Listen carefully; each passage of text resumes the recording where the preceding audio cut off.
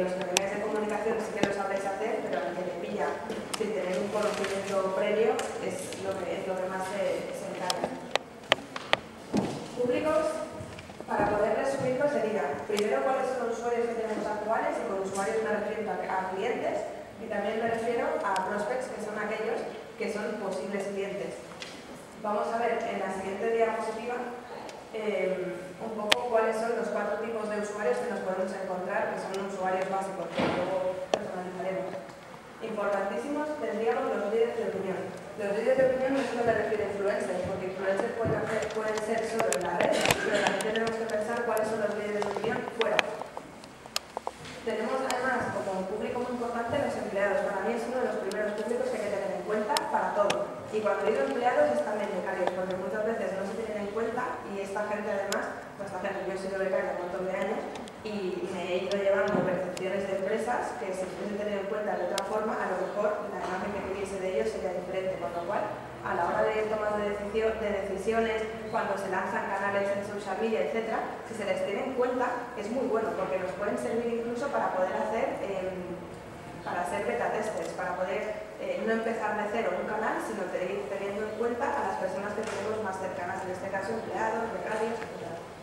Eh, el caso de stakeholders es otro de los públicos importantísimos, los inversores. Muchas veces no se les tiene en cuenta y ya hay muchas empresas que están haciendo canales específicos y comunicaciones específicas en Internet para inversores. Un ejemplo, em, empresas como por ejemplo eh, ArcelorMittal, que bueno, antes era ArcelorMittal, luego hicieron, la, hicieron una fusión, ellos hicieron canales específicos para inversores, para que en todo momento tuviesen conocimiento de qué es lo que estaba ocurriendo. Pero es que también hicieron canales específicos para empleados, que no estoy hablando de internet, que va, ellos lo hicieron es un canal de televisión que estaba eh, dentro de la página que hicieron nueva, que era, pues una, página en la que te iban comunicando cómo iba a cambiar tu, tu día a día, con qué personas tenías que comunicarte en el caso de que tuvieses dudas te dejaban unos foros específicos para poder ir haciendo preguntas que te surgieran. Los inversores también eh, tenían un canal específico que cuando se hacían presentación de resultados o cuando hacían juntas de accionistas podían ir viendo a tiempo real cuáles eran las preguntas que se estaban haciendo por si no habían podido llegar a, a la junta en ese momento. En el caso de las startups, no sé si habéis trabajado en alguna startup, pero como TD, por tener un grupo de inversores que están todo el tiempo encima, lo que más necesitan es información. Y en este caso, como en cualquier situación, la información es un valor brutal. A mí me pasó, por ejemplo, cuando trabajé en Alemania,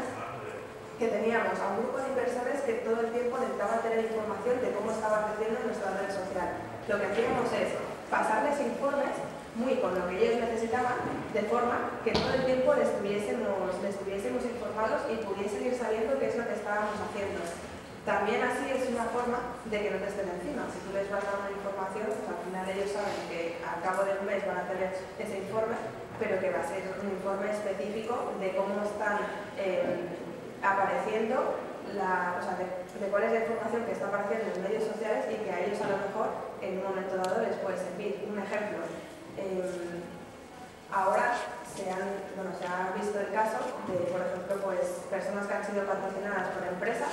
que en teoría son ellos los que están detrás de los medios, pero que a lo mejor en una rueda de prensa les hacen preguntas sobre los medios sociales y se como le han dicho, oye, pues el post que viste el otro día estaba fenomenal. ¿Y los otros en qué? Pues en este caso, si, si las personas que están involucradas en la comunicación en medios sociales están informadas al dedillo de qué es lo que se está haciendo, estas situaciones no ocurrirían. Y en el caso de inversores también ha ocurrido, igual que en el caso de líderes de, de la organización, que en teoría estaban ellos detrás y que no, y que no era verdad que estaban detrás. En el caso de los partners, por ejemplo, con los proveedores también se están haciendo más canales B2B.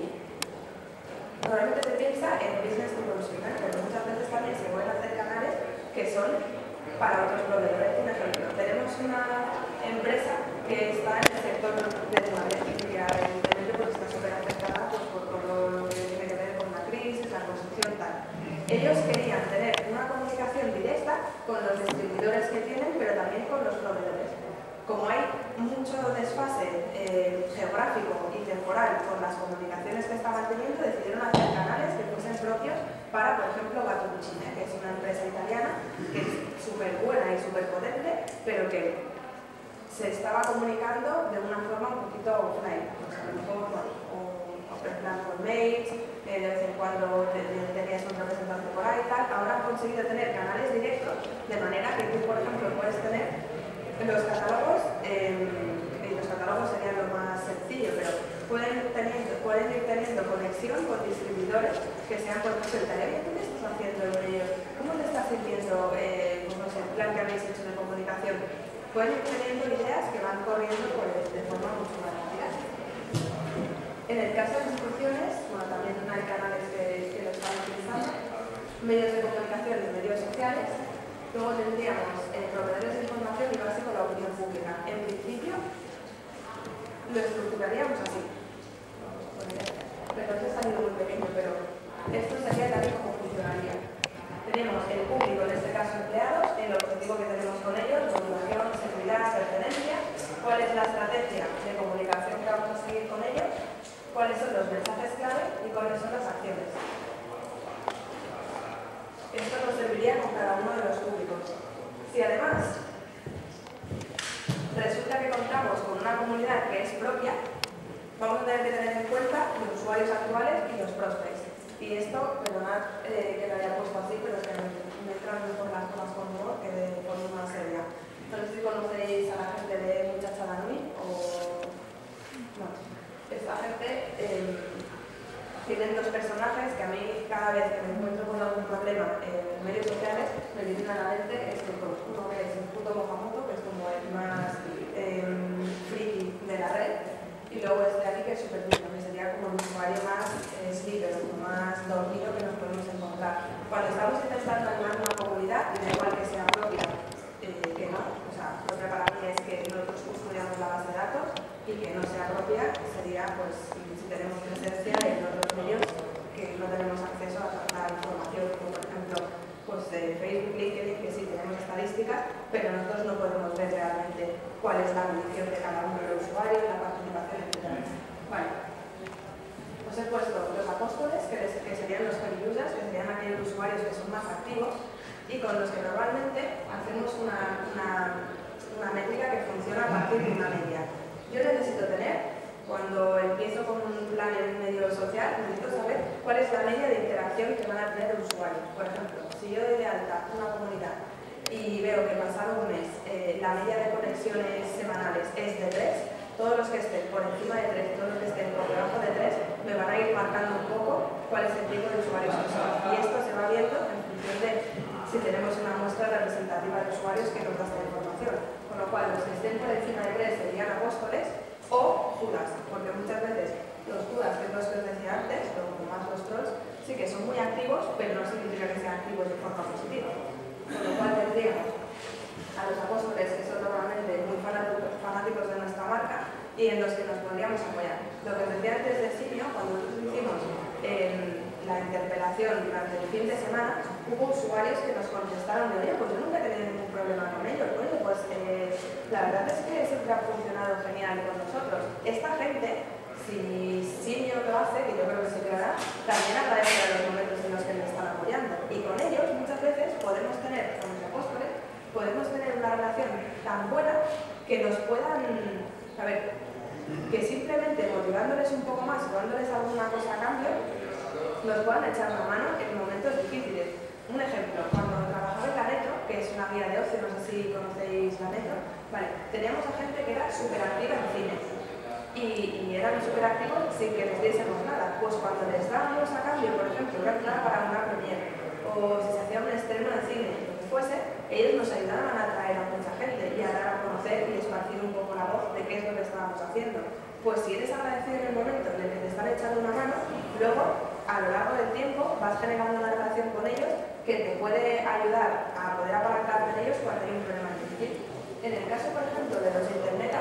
sí que es gente que en la media te aparece que están más o menos por eso, tres conexiones a la semana, pero que realmente no están encontrando cuál es el beneficio de poder eh, estar relacionados contigo, por lo cual a esto vamos a intentar motivarles e intentar pasarles a que sean autores. Luego nos encontramos con los escribes, que son aquellos que a lo mejor en algún momento se han dado de alta o han tenido eh, pues una conexión con nosotros, pero que realmente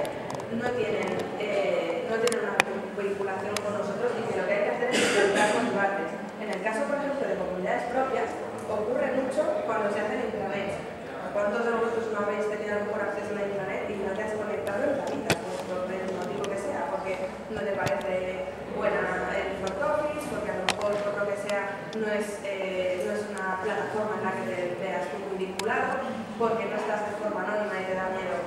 saber qué información vuelques. En este caso, hay una forma de intentar despertarles que yo creo que LinkedIn lo ha hecho súper bien. Sabéis que cuando os estáis dando de alta en LinkedIn y cuando tenéis ahí interacción, hay una barra al lado derecho en el que te va diciendo cuál es el tanto por ciento de información que tienes subido y cómo de bueno o malo es tu perfil. Esto ocurre como cuando, pues por ejemplo, te das de alta también en Fotocasa o el idealista te va diciendo que sepas que eh, cuando hay un anuncio que tiene fotografías es mucho más visible y es más fácil que puedas tener eh, clientes o que puedas tener personas que te hagan caso. En el caso, por ejemplo, de los slippers, em, si tú les vas como enseñando tips o enseñando consejos para que ellos vayan teniendo una actividad más positiva con la red, se van motivando poco a poco. Esto sirve mucho cuando tú estás en una comunidad que tú tienes acceso a las estadísticas, por ejemplo en Alemania lo veíamos, es gente que a lo mejor se ha dado de alta y no se ha vuelto a conectar, pero tienes que ver cuándo se han dado de alta, eh, cuál es la información que sí que han rellenado, cuál es la información que no han rellenado. No tanto de forma operativa, pero sí para intentar encontrar algún beneficio para el cual se queden allí. Y en el caso de los dudas, que son los que a mí más me gustan, generalmente es gente que a lo mejor tiene, bueno, te puedes encontrar con muchos campos. Yo me he encontrado muchas veces con competidores que están allí para poder sacar información o que... Eh, por lo que sea, eh, el cambio que se ha hecho de la plataforma, por ejemplo, si tenemos una plataforma que hasta el momento ha sido 1.0 y ahora queremos que sea 2.0, eh, y nosotros estamos viendo que, están comentando cosas negativas, a lo mejor pues tenéis un bug en la programación o tenéis un problema a la hora de darnos de alta como usuario, o no me gusta nada el diseño que habéis hecho. Muchas veces ocurre que nos podemos aprovechar de la información que nos está dando y en muchos casos te hacen casi como auditorías. Y lo más importante de todo es que en el momento en el que nos encontremos con gente que está dejando críticas muy negativas, que les podamos dar feedback. Lo que os decía antes, por ejemplo, del caso de Simio, eh, a nosotros vale, no nos contestaron de forma inmediata, pero prácticamente de forma inmediata, con lo cual o el enfado que tienes se reduce en el momento en el que te están haciendo caso. En el caso de los Judas, hombre, si es un tema de competencia, evidentemente hay que ser lo más serio posible y decirles, oye, sabemos que estáis aquí eh, intentando buscar información, mmm, tengamos la fiesta en paz. A mí me ocurrió, por ejemplo, en Alemania, que una red social que se dedicaba a lo mismo que nosotros estaba mandando eh, invitaciones de forma indiscriminada y estaba utilizando un tipo de programa que no sé si conocéis, se llama Gaber, que lo que te hace es eh, ver cuáles son, bueno, hace dos cosas. Una es que busca correos electrónicos dentro de, de redes sociales y otra cosa es ver cuáles son los usuarios más activos. Esto en teoría no se puede utilizar, pero en este caso lo estaban utilizando y estaban yendo a los usuarios más activos de nuestra red a mandarles información. Tienes filtros dentro de, de, la herramienta y puedes ir viendo, por ejemplo, palabras clave, que esto también se hace, igual que cuando moderas un blog, tú puedes ver cuáles son los comentarios que tienen palabras malsonantes o que utilizando palabras, etc. También lo puedes hacer con palabras de la competencia o con palabras que te interese captar. En este caso vimos que estaban mandando eh, invitaciones de forma indiscriminada y lo que hicimos es contactarles, ponernos eh, bastante serios y decir, oye, aquí no vayamos a hacer competencia SA, vamos a intentar tener la pista en paz y, y también. En el caso de Judas muchas veces nos ha servido para poder convertir a esa gente que en principio está en contra a apóstoles. De hecho, a día de hoy, con algunas personas con las que tuvimos problemas desde la plataforma de guía de la Electro, ahora son, son, pero vamos, fanáticos al máximo. Incluso dentro de Facebook hay grupos hechos en los que están defendiendo algunas cosas que ocurrieron con un chat que se tuvo que cerrar, que no se sabía si lo iban a retomar o no lo iban a retomar. Mm.